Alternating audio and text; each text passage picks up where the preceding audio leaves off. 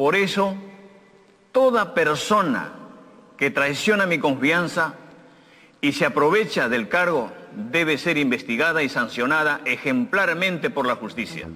El mandatario Pedro Castillo estaría en el ojo de las investigaciones por parte de la Fiscalía y Contraloría, y esto debido a las reuniones clandestinas en su casa de Breña con funcionarios del Estado y representantes de empresas privadas.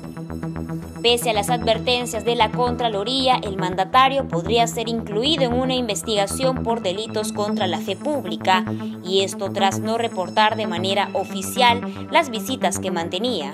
La abogada penalista Romy Chang mencionó que esta actuar sí califica como delito contra la fe pública al colocar una agenda paralela y que la Fiscalía debería hacer una investigación citando a los responsables como testigos. Asimismo, se tomará en cuenta que entre los visitantes a la casa de Breña figura el representante de una empresa que ganó una licitación.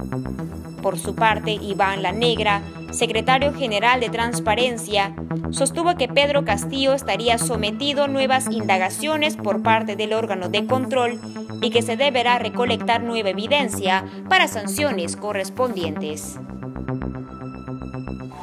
Thank you.